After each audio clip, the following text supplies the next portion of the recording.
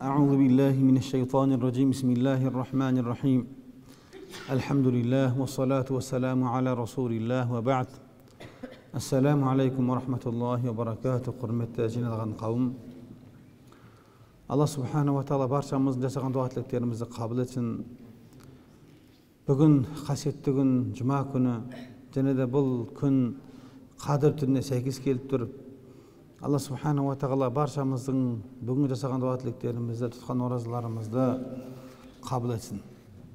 Және де баршамызға осы қадір түнінің жақсылығын нәсіп етсін иншалла. Біз білеміз қадір түнінің бір ерекшелігі қадір түнінің бір берекеті бұл періштелердің жерге түсуі. Жер бетінде періштелер қаптап кетеді. Тіпті адам егер біз енді періштелерді көрмейміз ғой бірақ солар соншалықты көп адам қадам басатын орын қалмай қалады. Сол мағынада келеді хадистерде. Енді бүгінгі біздің тақырыбымыз сол періштелер мүміндер үшін жарылқау тілейтіндігі жайында тақырып иншалла. Өйткені баршамызға белгілі мынау адам баласы үшін егер жақсылық жасайтын адамдар үшін алланың сүйген құлдары үшін бүкіл болмыс бүкіл жаратылыс не қылады екен?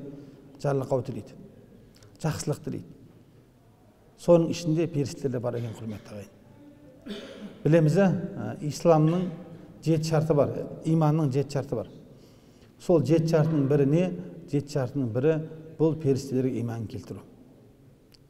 Құран кәрімде келеді ғой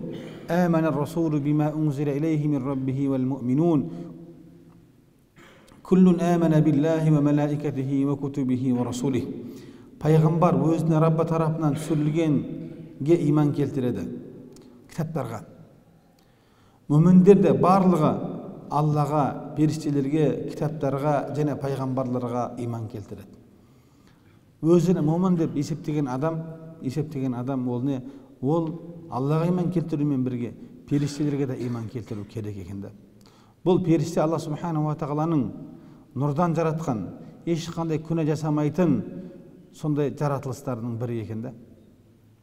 Алла субханала тағала құрани кәрімде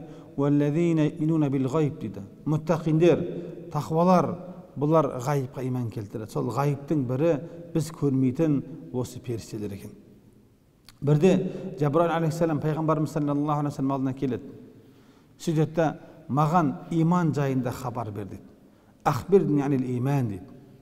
Сонда пайғамбарымыз саллаллаху алейхи вассалам ан тумина биллах ва малаикатихи ва кутубихи ва расулихи вал йаумил ахир вал қадари хайрихи вал қадари хайрихи куллихи ва шаррихи мин аллах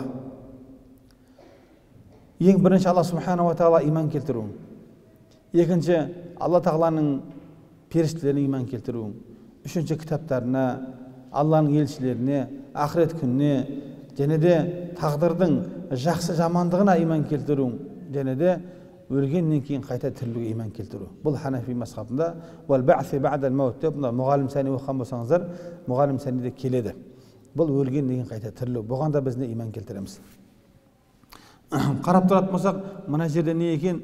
Бұл иманның жеті шартының бірі біз иман келтіру керек болған. Ал міне осындай періштелер әрине бұл періштелердің әрқайсысының өзінің жұмыстары бар міндеттелген. Мысалы жабраил алейхисаламның міндеті бұл пайғамбарларға уахи жеткізетін пайғамбар. Әй елші періште болған. Исрафил періште баршамызға белгілі қияметте не қылады? Сүр үрлейді. Мәләкул мәут біз азраил деп айтамыз ғой көбінше. Азраил деген негізі келмеген жалпы мәләкул мәут деп келеді. Өлім періштесі деп келеді. Аты айтып тұр бұл не? Жан алушы періште. Және де сол секілді бізде ә, микаил деген періште бар.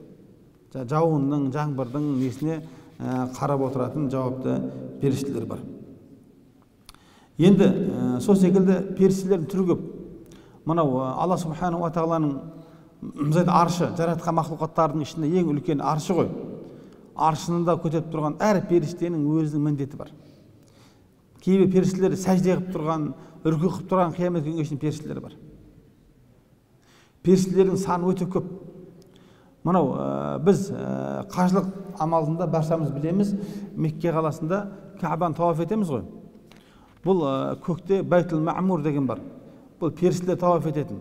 Бір періште тауап ететін болса қиямет күнге шейін қайтып оған кезек келмейді екен. Олардың саны көп.